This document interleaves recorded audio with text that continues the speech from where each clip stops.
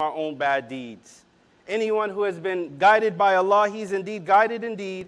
And who, anyone who has been misguided, you will never find a guardian, a protector. We bear witness, ashadu, excuse me, individually we bear witness, ashadu, and collectively, nashadu, that we bear witness that there's no deity except Allah, no entity except Allah, the only one without partner, la sharika. And we bear witness that Muhammad is his messenger and his servant. We ask Allah, Allahumma, to send salutations and prayers and peace and blessings upon his prophet Muhammad, his servant, and upon his family and all his companions. Amabad, and what follows of that excellent salutations. Dear believers, people of the heart, we ask and greet you with Assalamu alaikum.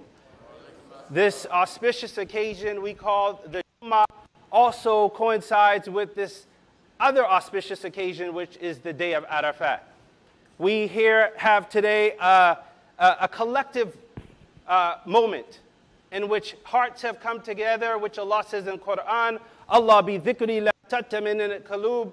Verily, in the remembrance of Allah, do hearts find tranquility. Didn't just say the mind, Allah says directly that hearts find tranquility. And we know that Muhammad the Prophet, sallallahu alayhi wasallam, the model man, the model human example, received this Quran, this revelation on his heart. Muhammad, the Prophet, the model man, he is an example for us all. And for believers who are assembling, as I was saying at the beginning, we're assembling a delegation of individuals, international representation here, from all around the world visitors on behalf of ex- international exchanges with our United States government, and others who are visiting us from around the world and from various places throughout the United States. We greet you with that universal greetings. We greet you with the Arabic greetings of marhaban bikum. We greet you with, the, uh, with, with, with, with joining us at this historic masjid that's an 85 year plus masjid built by the individuals who were developing and were a part of the indigenous community of this land. And so, dear beloved believers, Muslims, we recognize that Allah subhanahu wa ta'ala is the only one without partners, and Allah is the one who deserves the praise. Alladhi. He is the one who has created me, and He is the one who will guide me. What does this mean, brothers and sisters, as we talk to our collective selves. That means that all instructions, all guidance, all um, elements of our human life is directly guided by the one who created the heavens and the earth and Muhammad the Prophet. It is recorded by a tradition that says that Muhammad the Prophet said that, that, that you have, my companions are like stars. You can be guided by each and every one of them. That means with model behavior, model example, model exemplary example, you can be guided by each and every one of us. And so this day of Arafat, this day of standing, this day of witnessing Allah subhanahu wa ta'ala, we want to be of that assembly in which we can see model behavior. Allah Ta'ala says in Quran in Surah Fatir, ayat 15, for those who are looking for the sourcing of it, He says, Ya ayyuhan nasu أنتم الفقراء إلا الله والله هو الغني hamid. And Allah gives us this beautiful verse in Surah Al-Fatir, one of my favorite verses, but the whole Quran is, is my favorite. But in this moment, Allah says in, in, in Surah Al-Fatir, O mankind, you are those in need of Allah, while Allah is the free of need, the praiseworthy. O mankind, you are those in need of Allah. What does this mean, brothers and sisters? We are empty, we are simpletons without the guidance of Allah. We can't accomplish anything without this world, without the guidance of Allah subhanahu wa ta'ala. And we should be of those who submit. The universe itself is the creation, eh, the universe itself, and the creation itself is the womb of the knowledge, and the universe is the one itself who firstly submitted. The universe itself existing, created for us, the whole existence of what we see out into the heavenly abode, the physical existence. Allah al-samawati wal ard, that Allah is the light of the heavens and the earth. The whole existence was created for you to be of a utility. And we know, based off of studies that have been out there in the world, a recent fascinating analysis I saw in the New York Times, also corroborated in an interesting journal in Harvard that talked about that forests themselves have their own social networks. Forests themselves, the creation itself, are communicating. And we know that Allah says, a goodly word like a goodly tree, firmly rooted, having establishments, and its branches going out. Summarizing for the sake of time, it goes out. So, in the creation itself, we should be able to ponder if Scripture is not being of use to us, then why do we have Scripture itself? So, you should be able to go into Scripture and see your life. You should be able to go into the Scripture itself and be able to see its utility. And it gives another example uh, in the Islamic tradition, sometimes seen as, uh, I wouldn't say it's, uh, it's weak, but there are a number of hadiths that are in our tradition that stay in there because they don't contradict the Quran, they don't cause any confusion, but they bring good social bonds. So this one verse says, uh, this one uh, uh, tradition in Islam uh, uh, that has various uh, interpretations, but one says, "Min arafa nafsuhu fakar arafa rabahu." The one who knows himself knows his Lord. Dear beloved believers, Muslims, knowing yourself, knowing your path, knowing why you exist is part of your journey in this life. The same way that the creation knows its role. The creation itself knows that it has to submit.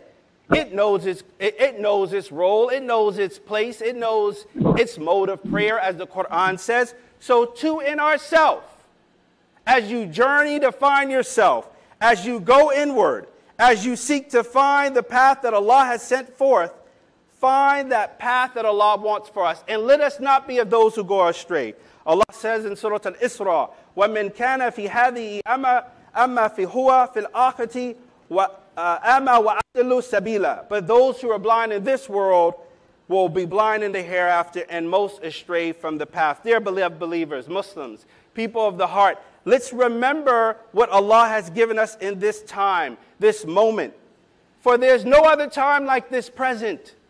We could have been any other place. You could have chosen to engage in any other business activity. You could have been in any other place in the world, but you chose to come into the divine presence to witness in saying, La ilaha illallah Muhammadan Rasulullah. That is the first acknowledgement that Allah is supreme, that everything in creation praises Allah, exalts Allah, prostrates to Allah, obeys Allah, submits to they hear and they obey without question, except for some human beings and jinn.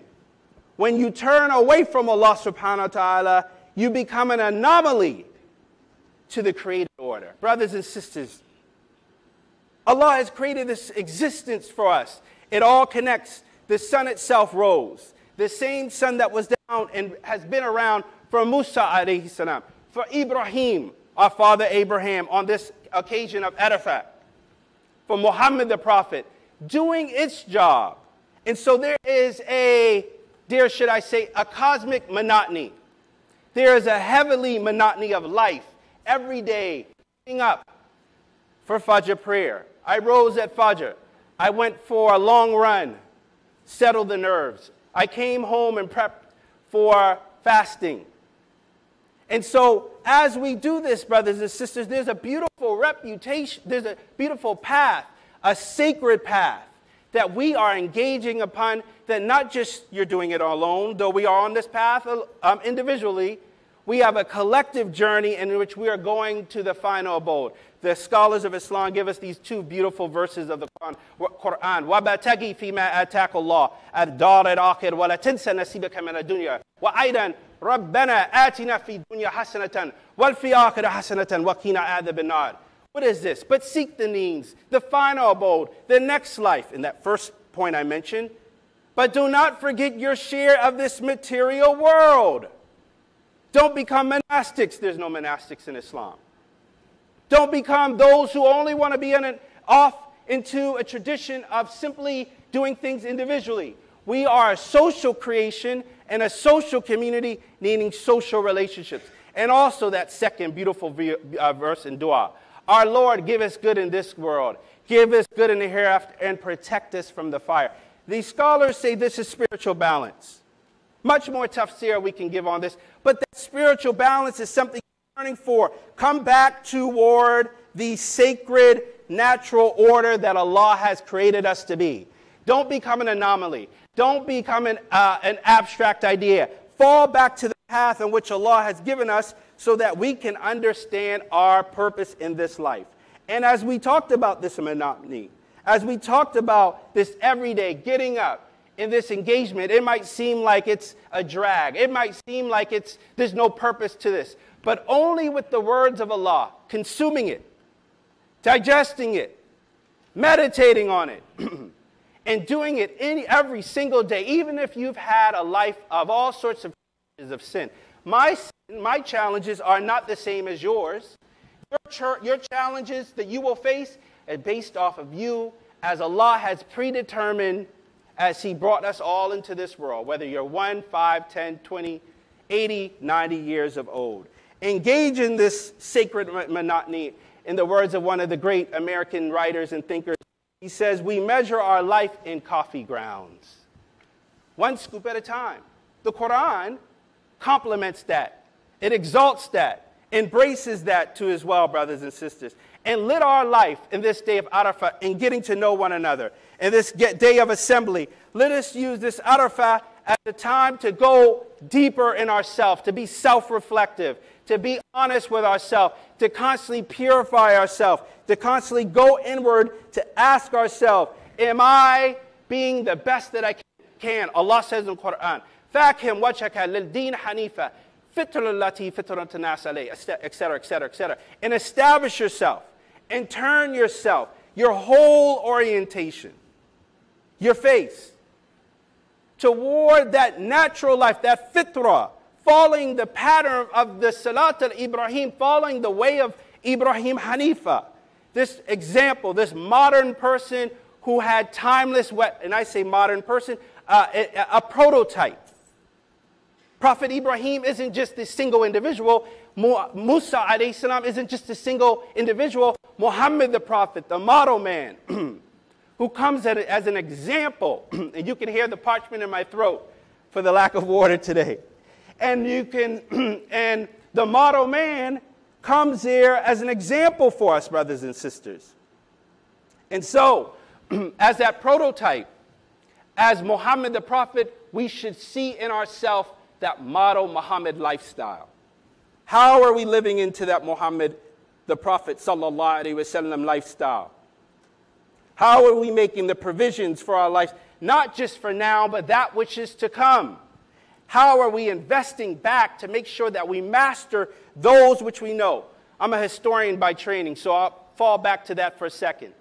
And in the classical Islamic tradition, in the modern era, we're used to so much information overload. In a digital world, we're so used to having books at our disposal. And in the historical period, it took time, sometimes months, where individuals would have a copyist who would write a book, and then someone would savor that book, and they would digest the information from that compilation. In the modern world, we have so much information given to us that we miss the mark of understanding that high impact information that's given to us for small amounts. Many of you all will remember the 40 hadiths that are out there. Ibn Kathir has written extensively. It was Bukhari who said, I learned so many hadiths that I became confused.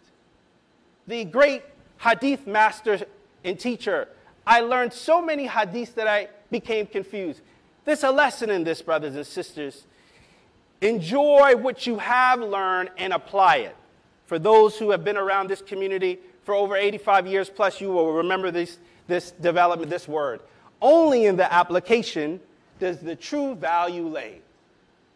Only in the application of what you have developed and subscribed and cultivated does the true value lay. Consuming lots of information and not knowing what exactly and how to apply it, the right moment, the right time, it's not of direct solution for you. And so I mention that, brothers and sisters, because uh, in this modern world, we have so much information that we miss how to digest what we do know. Apply what you know, brothers and sisters. Learn and develop and be on that quest of knowledge. The most often repeated word outside of Allah in the Quran is, uh, is knowledge, ilm, alam, mu'allim, ta'aleem, etc. And so, brothers and sisters, don't squander this experience. Our Prophet Muhammad, all these beautiful wisdom that we've learned from our teacher, our guide. Like our parent, I love Muhammad the Prophet وسلم, more than I love my own parents, and I love my parents so much because Muhammad has given us an instruction. On this Arafah day, as we witness this day convening, Muhammad said, Did I give you this instruction? He gave a whole list in his, ser- in his sermon. And in this sermon, this final sermon, he talked about the rights of protecting each other, equality, social justice, human rights, etc. Talking about the rights of both Arab and non Arab, etc. Making sure that there's an egalitarian, an equal, equitable community. Muhammad the Prophet ﷺ said, Most of my ummah will live between 60 and 70 years. Some of us live a little bit more, some of us live a little bit yet, a little bit less. But what should that t- tell us, brothers and sisters? Don't squander the moment. Apply what you have in this time. Allah has not guaranteed any of what us much more than what we have in this Jummah at this moment, at this time, brothers and sisters. Let us embrace this Hajj as we are in this Hajj of just not those who are physically there, but let's enjoy this Hajj so that we empty our mind and only put back the words of a God, only put the words of Allah subhanahu wa ta'ala back into this vessel that Allah has given us for those 60, 70 years plus. Brothers and sisters, let this Hajj be a time of recalibrating not just those who are there, recalibrating how you engage in your life, engaging in this sacred monotony. Allow your roots, your foundation of Islam, as I began with the trees, allow your roots to be cultivated, moist, developed, so that it can survive like those redwoods in the Pacific Northwest. Allow those roots of your time to survive like that palmetto tree in the South Carolina swamps right now in the, as warm climate. Brothers and sisters, allow this season that we're in, that happens to be summer. Like we have fall, springer, summer, winter seasons, allow us to allow our Islamic life to be firmly rooted. Let us not be, as Surah Al-Fatir says, those who oppress their own souls, who are dalimi li nafsihi. Let us be of those who are sabak bil khairat, who go overtime, who seek to constantly be in Allah's presence, who constantly seek to strive for perfection. Allah says in, the, Allah says in, a, in, in a, an authentic hadith, Muhammad the Prophet, Inna Allah katab al hasana ala kulli shay'in. I have prescribed excellence in all things. And let's seek that middle way that Muhammad the Prophet that Allah has given us. Be of those who are muqtasid, taking the middle path, not going too far to the left and too far to the right. ربنا آتنا في الدنيا حسنة وفي آخرة حسنة وقنا عذاب النار.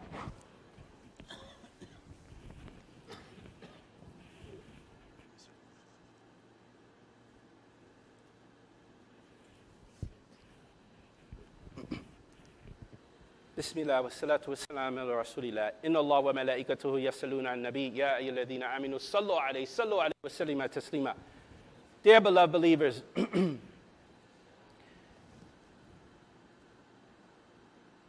we have those who are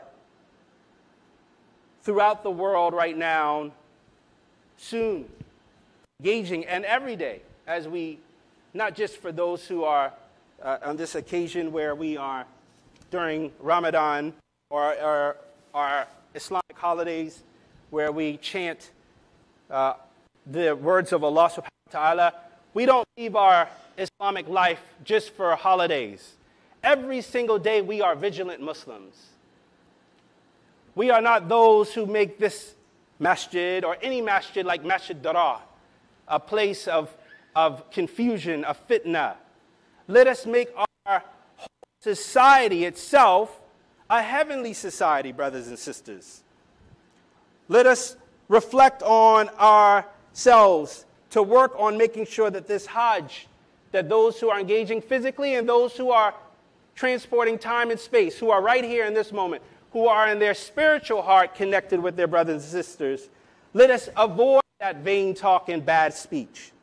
Let's develop better relationships with people, those who we've broken bonds, those who have done us wrong, those who deserve the wrath, and those who you give mercy. Muhammad the Prophet, when one could have easily deserved the wrath, extended mercy. To have to be merciful is to extend mercy in the moment. If someone comes here and lived a life of all sorts of challenges in the street, in the, in the culture, this should be a place and where it's inviting, not turning some away based off of what you might perceive as them not living up to your expectation. Allah subhanahu wa ta'ala is the one who deserves all praises and worship. Our Prophet Muhammad sallallahu alaihi wasallam represented goodness. Our Prophet Muhammad sallallahu alaihi wasallam represented a model example for us all to live by. Allah says in, in Surah Al-Hujurat, Ya ayyuhan nasu, excuse me, Ya ayyuhan nas, inna khalaqnakum min dhakri إن وذكر وأنثى وجعلناكم شعوبا وقبائل لتعارفوا إن أكرمكم عند الله أتقاكم إن الله عليهم كبير Allah says in Surah Al-Hujurat, brothers and sisters, O mankind, indeed we have created you from a male and from a female. Ya ayyuhan inna khalaqnakum min dhakari wa untha and made you peoples and tribes that you may know one another, liti arafu, etc. And in this verse in Surah Al-Hujurat, it is a time of getting to know one another, but it is a time to getting one another in a deep relationship of reflection of knowing one another. The same way that these rituals that we develop, but too much ritualism, brothers and sisters, can take us off from the path. Our great leader and teacher, Imam Warith Muhammad, 21st century intellectual, said too much ritualism can miss the objective of what it is, the purpose of what we need to have in this life. The rituals point us to something bigger. The rituals point us to something as the Islamic tradition, the Maqasid Sharia, they point us to something higher, but there's symbolism in the rituals, but not to stay stuck in the rituals. Allah says in the Quran, you can stay and you can make prayer standing on the side, etc. Allah knew the development of what we would have where we have a car, electrical car, etc. So, brothers and sisters, apply Islam in its practical use. Let your behavior be a model example.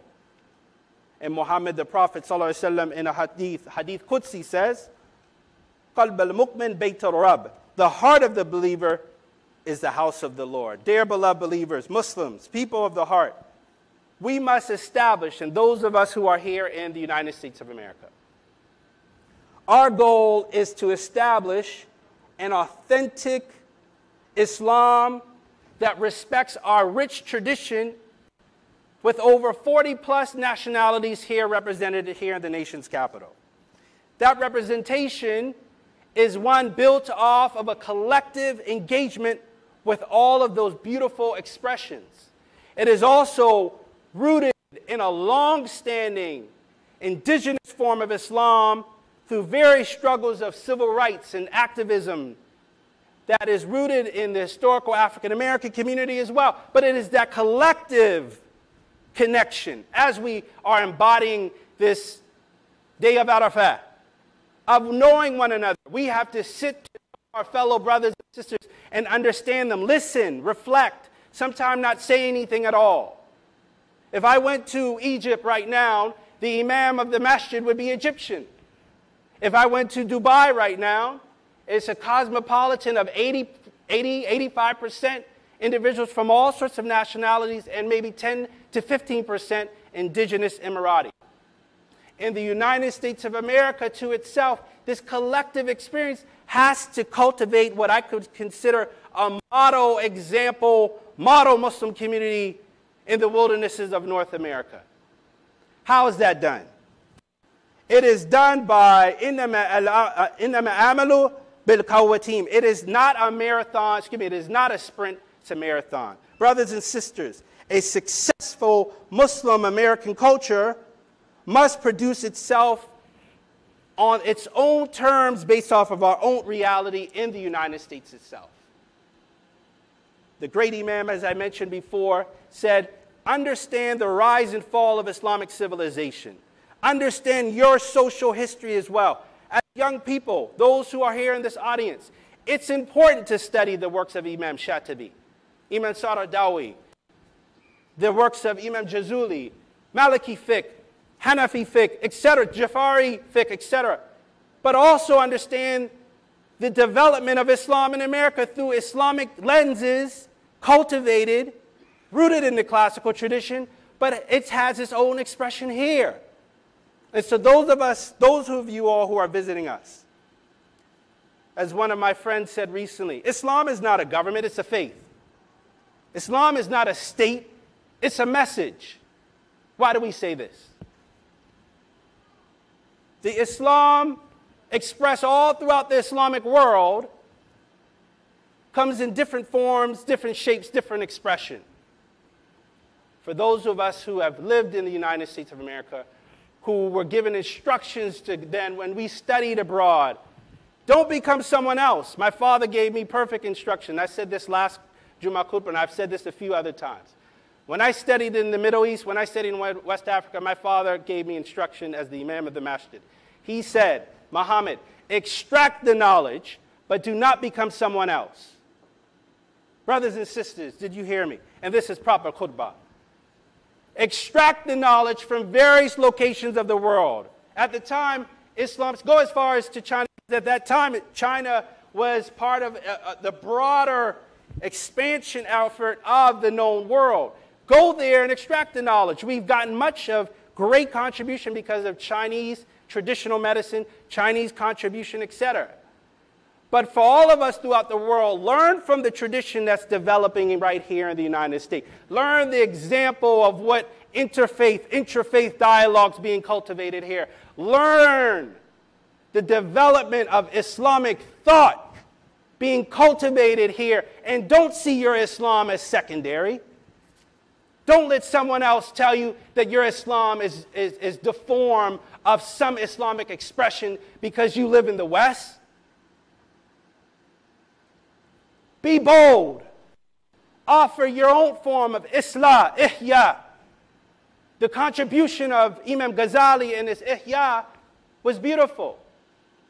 He talks about in his Kitab, in, in, the, in, a section, there's a Kitab Adab al Suhbah, a book on understanding the, the, uh, the adab of companionship right next to a section of adab of saluk, of seclusion. But that full combination also points to a section in that ihya. Remember reading it as a young child. He talks about this kitab al-maut, the book of death. And that, that compilation, we're all going toward death, brothers and sisters. Don't despair in Surah Al-Maut. Uh, Allah gives us instructions. And as our great teacher in 1807, Omar ibn Said, Yarrow Mamout, these great Islamic thinkers who arrived on these shores in America, who've left, left us bodies and treaties themselves, who left us with these verses of Quran. He who created death and life, for Allah is all forgiving, most merciful. He wrote this, one of our great Islamic thinkers here in the United States. So, what am I saying, brothers and sisters? Be courageous and be comfortable in your Islamic expression in the United States of America. Recognize it is a time for everyone to get to know one another, not just the Islamic thought coming from the broader Muslim world, but you are part of that broader extension as well. Muhammad the Prophet, Allah subhanahu wa ta'ala, knew that there would be Muslims in this United States of America. Let Islam be that kindling flame for all of us. Let it be a moment of excitement. Let it stay be a moment of excitement. For when it came, it was exciting, and it will, as this complete unfolding takes place, let it also completely change ourselves. Let it change our heart so we are radically different human beings. Don't be comfortable in your Islam as status quo. Let your Islam be a kindling flame to master whatever tradition, whatever skills that you have learned to go out into the world so when someone sees you, whether your name is Brian, whether your name is Abdul, whether you have a, a, a, an apparent Muslim name or not, they see your character. They see your example and they say, that's something different. That person represents that model man, Muhammad the Prophet. Sallallahu Alaihi Wasallam. Dear beloved believers, as we close in this dua, oh Allah, I cannot manage this life myself without you. Please make of my life what you want it to be, what you refer it to be. Do not allow me to act on my own. Help me to act only in obedience to you, Allah. We hear and we obey. Submitna wa ta'na. Forgive us. We're asking your forgiveness. Allahumma afni fi badani. Allahumma afni fi sami'a. Allahumma afni fi basri. La ilaha illallah anta. Oh Allah, grant health in my body. Oh Allah, grant health in my hearing. Oh Allah, grant health in my sight. There is no God worthy of being worshipped except you, O Allah. Iqamati salah. Allahu Akbar, Allahu Akbar. Shadu la ilaha illallah. Shadu anna Muhammad Rasulullah. Hayya ala salah, hayya al falah. Qamatu salat, qamatu salat. Allahu Akbar, Allahu Akbar. La ilaha illallah. La ilaha illallah. لفرد صلاة الجمعة اثنين ركعة لله تعالى استقبل Kaaba. We intend to make two rakas for Salat al-Jum'ah for Allah the Most High facing the Kaaba. In fact, uh, my friend Imam Antepli, please, Fadl. I haven't seen uh, my friend Imam Antepli in a long time and I'd like him to lead the Salat. Please, Fadl.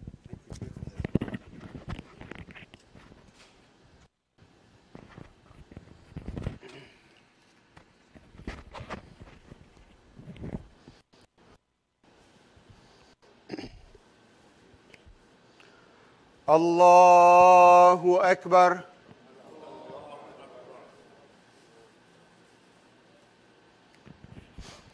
الحمد لله رب العالمين الرحمن الرحيم مالك يوم الدين إياك نعبد وإياك نستعين اهدنا الصراط المستقيم صراط الذين أنعمت عليهم غير المغضوب عليهم ولا الضالين.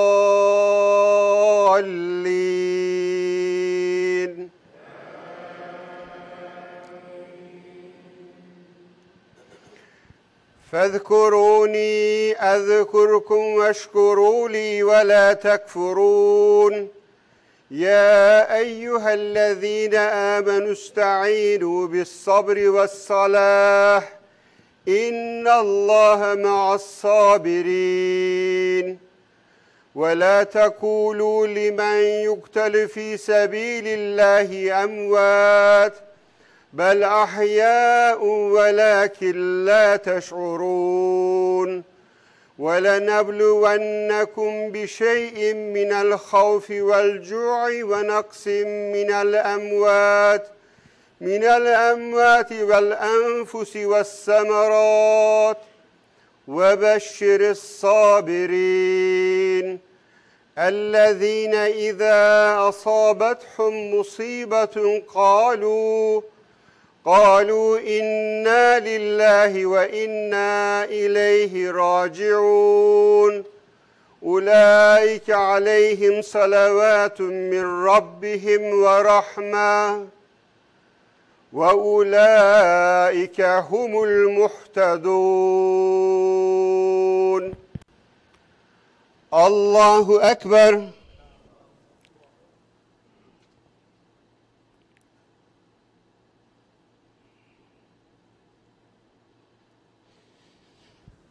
سمع الله لمن حمده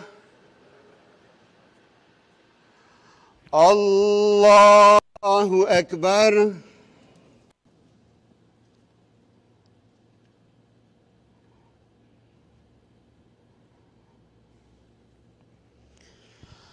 الله اكبر الله اكبر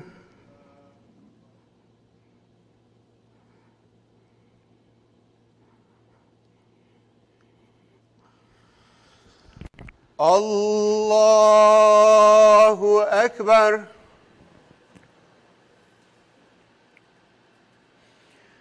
الحمد لله رب العالمين الرحمن الرحيم مالك يوم الدين إياك نعبد وإياك نستعين اهدنا الصراط المستقيم صراط الذين أنعمت عليهم غير المغضوب عليهم ولا الضالين.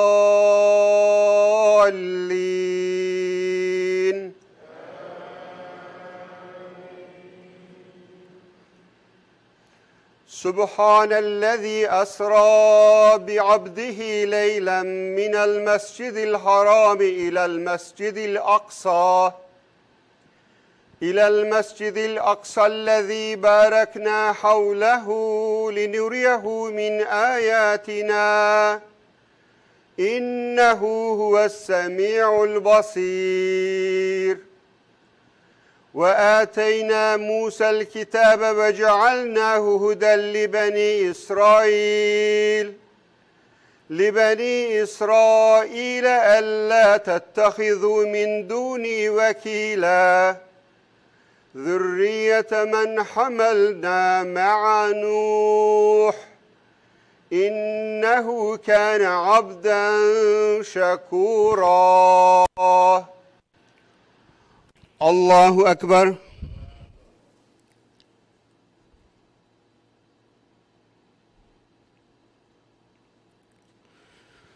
سمع الله لمن حمده.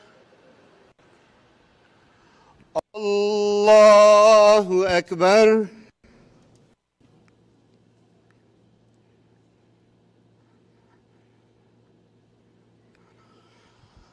Allahu Ekber.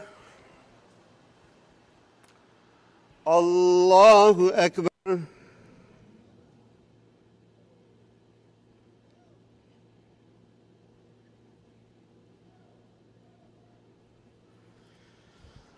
الله أكبر.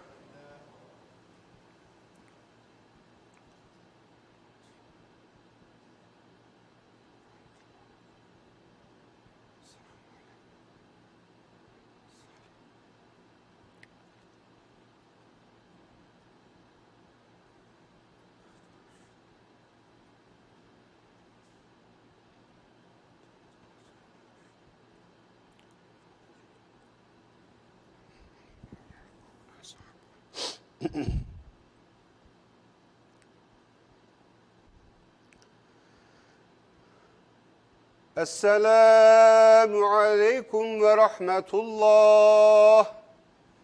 السلام عليكم ورحمة الله.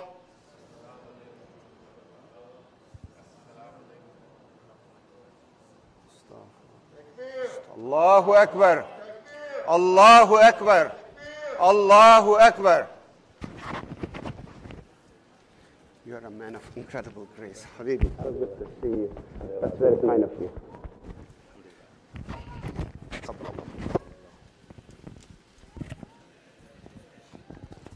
Assalamu alaikum.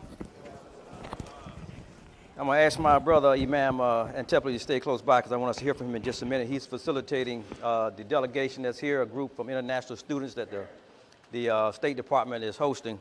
And I want him to make comments and greet the community as well. I want to thank uh, Professor uh, Mohammed uh, uh, Fraser Rahim.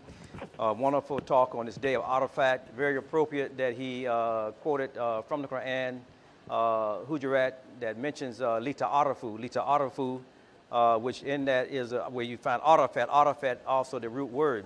And Lita Arafu, meaning to know.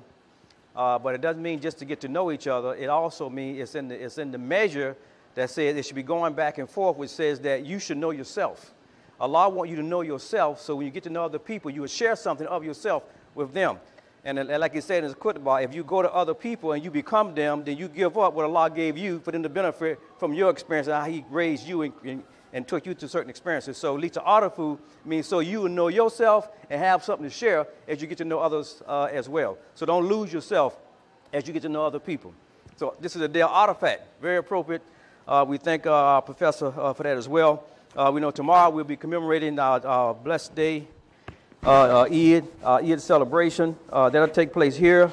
Uh, starting at uh, 9 a.m. We're gonna we got the block gonna be shut down. We're gonna invite the whole community out. Uh, we're gonna have the block lined up with different types of vehicles for games, foods, etc. Uh, for the youth uh, as well. So please come by, stop by, uh, enjoy yourself, and partake in the in the day as well. immediately after Juma, not immediately after, but at 3 o'clock, the sisters will be doing a henna party at 3 p.m. next next door. So I want to make sure that you all are aware of that and support that event as well. Uh, it says, uh, due to rain, we will be having prayer and food giveaway uh, only on Saturday. So due to rain, we will be having prayer and food giveaway only on Saturday. So depending on what happens on the rain uh, tomorrow, that's the announcement.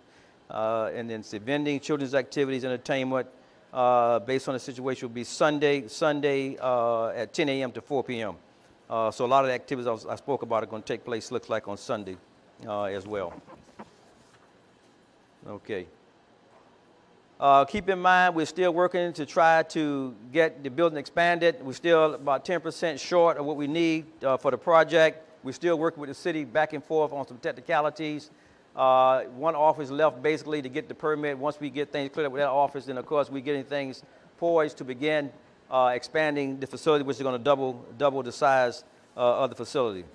We have an upcoming membership meeting taking place on July the 24th at 12.30, and then you get all the updates, all the details on all the information uh, that, that's going on. Uh, we're going to be hosting uh, the Time to Be Grateful banquet. It's going to be its 19th annual award ceremony weekend to take place here in December. Uh, it's going to also coincide with the anniversary of the United Nations issuing a Universal Declaration of Human Rights, which is also the same date that this building that we're in right now uh, was dedicated on that same day uh, to say as a people, as he mentioned the indigenous here, who were denied all of those rights uh, on that declaration, are proponents for all those rights for everybody around the world. Uh, that's one of the things this represent at this message and having that dedication on that particular date.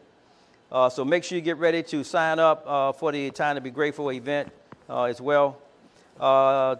Sunday, 7.30, we're going to have Muhammad Ali's former wife, Dr. Khalila Ali. She'll be here uh, to speak about the road to greatness of Muhammad Ali. So that'll be before Maghrib. We'll end that with Maghrib. Uh, again, that'll be Sunday, 7.30 uh, here at the masjid. Uh, that's in partnership with Muslim Voices for Peace uh, as well. And I think uh, we're good. I want to have my dear brother.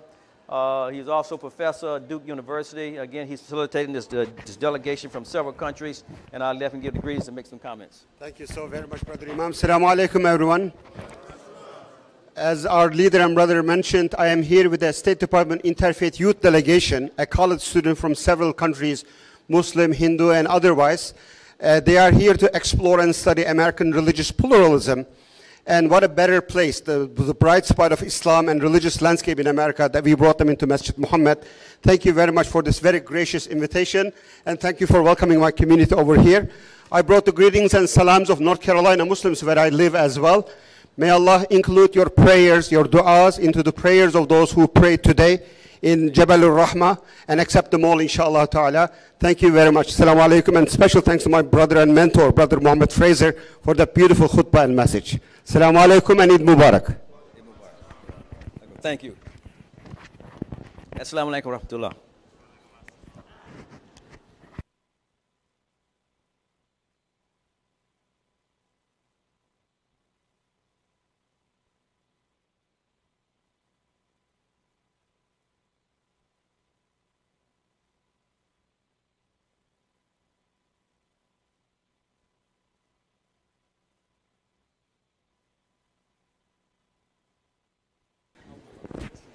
Again, I just want to make it clear now, the festivity, we're going to do the prayer uh, tomorrow and food giveaway, but all the activities that I mentioned in terms of shutting the block down with all the vehicles for the children and the food, that'll take place on Sunday. Again, this is because of the rain forecast for tomorrow.